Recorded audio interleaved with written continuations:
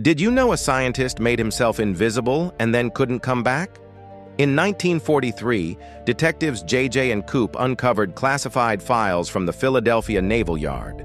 Dr. Franklin Reno, a brilliant optical physicist, had been developing electromagnetic field generators that could bend light around objects. After successful tests on laboratory animals, he made a terrifying decision. He injected himself with his own invisibility serum.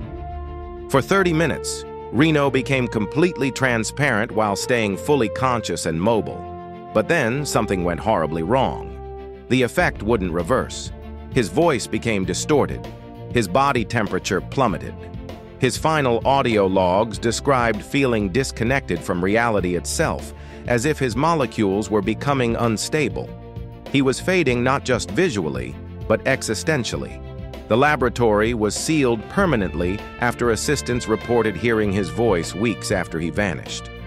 JJ discovered Reno might still exist somewhere between visibility and complete dissolution, a ghost trapped in his own experiment.